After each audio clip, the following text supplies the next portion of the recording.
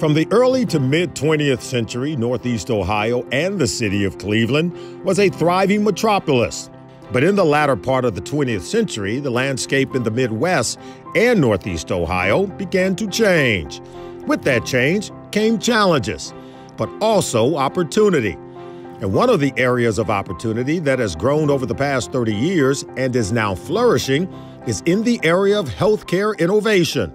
In the mid-1990s, there was essentially no biotechnology community here in Northeast Ohio. We wanted to create uh, a very vibrant uh, innovation and commercialization ecosystem. And people said, no, you guys are crazy. This is Cleveland, Ohio. You know, that can never, ever happen. We knew we had a biomedical research base, um, but we didn't have much of a company base.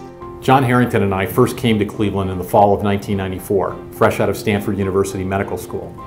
We had a vision to start a biotechnology company that would focus on developing safer and more effective treatments. It was the leadership at the Cleveland Clinic, Case, and University Hospitals that reached out to us and said, we want you guys to consider staying and building the company here. It's really exciting to think back and realize all the different ways that the Athersys journey represents what all of us here in Cleveland have been trying to do.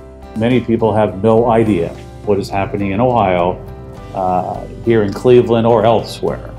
We have the, the greatest hospital in the world in the Cleveland Clinic. We got people from all over the world that come to Cleveland for medical treatment. It's really pretty amazing that we have the Cleveland Clinic, University Hospitals, Case Western, even Cleveland State and Metro Health Center, uh, both coming together. The community has grown in the last two decades that I've been in Ohio. Uh, mentality is changing. There's definitely a lot more added to the ecosystem.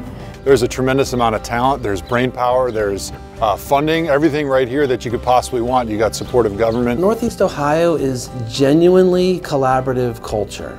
We've got a incredibly strong foundation today in Cleveland thanks to the efforts of many as well as the investments of many, including the state of Ohio. It's never easy to bring technologies to the marketplace, uh, but having the horsepower of the Cleveland Clinic brand and the innovative uh, thought leaders that are here uh, gives us a real advantage.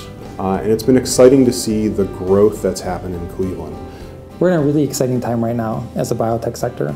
Ohio is well positioned to continue its growth as a leader in biotech growth in the Midwest. Really was a total commitment of the community from the research institutions that really made it happen.